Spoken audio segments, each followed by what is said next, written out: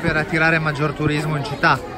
Assolutamente sì, sono molto contento che tantissime, tante radie anche nazionali abbiano acceso l'attenzione sulla nostra città, mi stanno intervistando, molti giornali, eh, oggi è uscito un articolo su Vanity Fair ma non è l'unico giornale che ci ha dato spazio.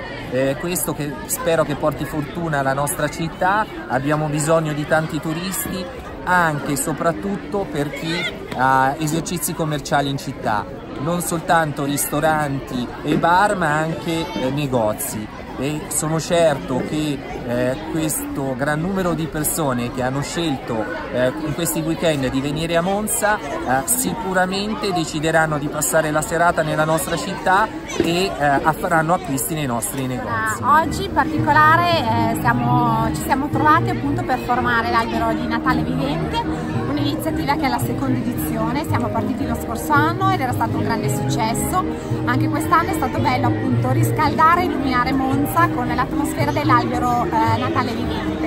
Eh, questo significa appunto radunare il maggior numero di persone, saremmo stati dalle 300 alle 400 persone eh, che, che, sono andate a formare appunto un albero di Natale con dei gadget luminosi e insieme abbiamo cantato le canzoni più famose del Natale. Questo ha illuminato Monza, ha riscaldato l'atmosfera e appunto è stato bello anche per me una vera emozione eh, poter vedere la gente allegra eh, a godersi questa atmosfera di, di una Monza esperienza luminosa e veramente natalizia devo dire. E anche io Finalmente Monza da due anni a questa parte eh, respira l'atmosfera del Natale. Per troppi anni in passato c'era tantissima tristezza.